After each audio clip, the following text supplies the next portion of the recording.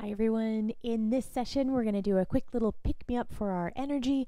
You could be seated wherever you want, um, floor or chair. Let's start with giving our hands a little shake up. So, the purpose of this one is just kind of to shake out all that extra stress from the body, give us a little bit more energy. Remember, you don't need to shake your hands as fast as I'm doing. I kind of pretend like I have water on my fingertips and I'm trying to get it off.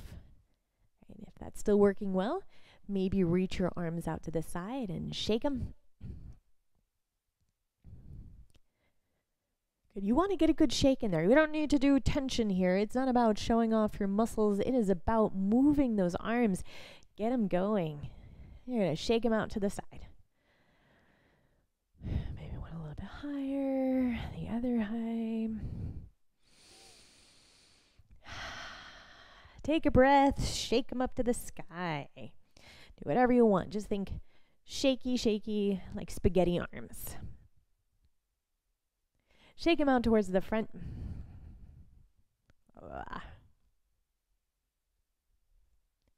Good. Bring them to you and tap right next to your collarbone.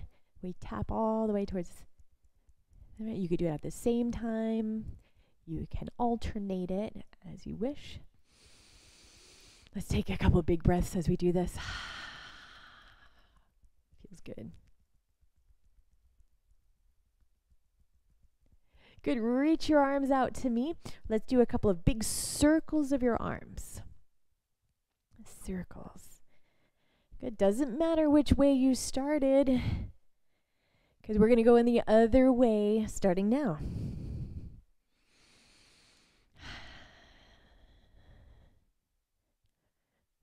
Let's get a bit fancy. Let's make an eight, a figure eight, right in front of your body.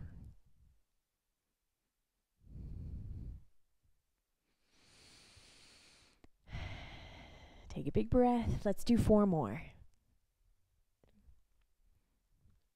and one and hands down. Right. Ready for the next one? Palms together, rub them up as fast as you can.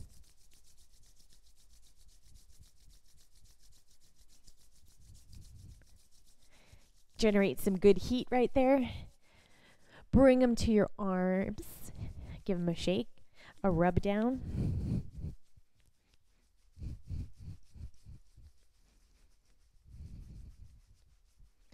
Bring one hand over your heart, the other hand on your belly. Let's take three big breaths right here.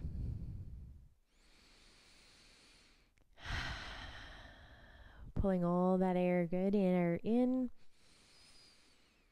Let it all come out. We'll do two more for for us.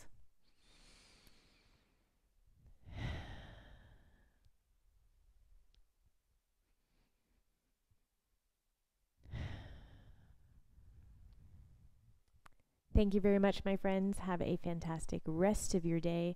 I hope it goes a bit better.